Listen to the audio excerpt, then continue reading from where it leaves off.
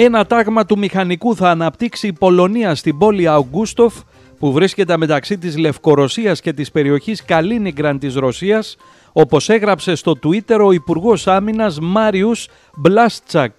Σύντομα θα δημιουργηθεί ένα τάγμα σκαπανέων στο Αουγκούστοφ. Αυτή είναι μια άλλη στρατιωτική μονάδα που χτίζουμε από την αρχή και σας διαβεβαιώνω όχι η τελευταία ανέφερε χαρακτηριστικά. Ο ίδιος επισκέφθηκε την περιοχή και ενθάρρυνε τους νέους να ενταχθούν στο νέο τάγμα. Οι προσλήψεις είπε θα ξεκινήσουν μέχρι το τέλος του χρόνου. Η νέα στρατιωτική μονάδα θα φυλάει τον ισθμό Σουβάλκι με την Πολωνία να κατηγορεί τη Ρωσία ότι θέλει να τον πάρει κοιτάζοντας όλο και πιο ανυπόμονα.